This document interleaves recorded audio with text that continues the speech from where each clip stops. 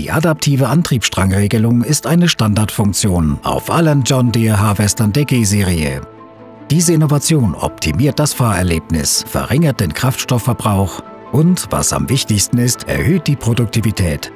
John Deere Forstmaschinen nutzen speziell für den Einsatzzweck gebaute Motoren aus unserem eigenen Motorenwerk. ADC ist ein automatisches Antriebsstrangsteuerungssystem. Mit dem ADC-System kann der Fahrer das volle Potenzial von Motorleistung und Drehmoment nutzen und das besser als bei herkömmlichen Systemen. Das ADC-System von John Deere ist patentgeschützt. Die Vorteile von ADC zeigen sich am stärksten beim Einsatz in Raumgelände, Baumstümpfen, Felsen und steilen Hängen. Hier einige Beispiele. Beim Überfahren von Hindernissen und bei Bergabfahrten mit voller Beladung